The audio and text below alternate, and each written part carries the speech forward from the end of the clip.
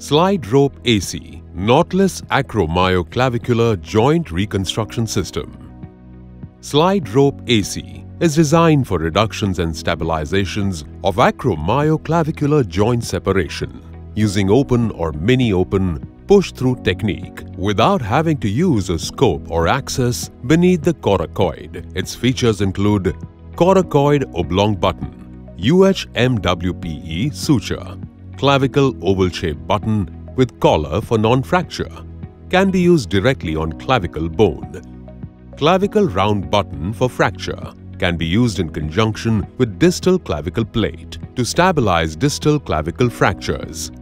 Flip button. Suture release pull tab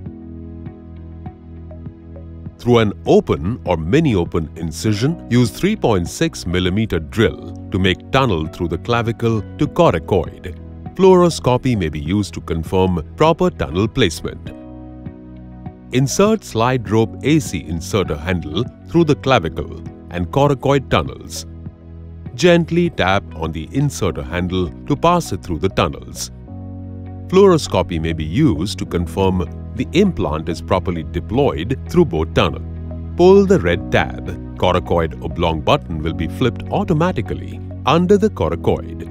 Remove the white pull tab from the inserter handle to release the sutures. Release clavicle oval-shaped button from inserter handle. With the inserter handle in place, pull clavicle button to seat coracoid button in place under the coracoid. Use fluoroscopy to confirm that the button flipped properly.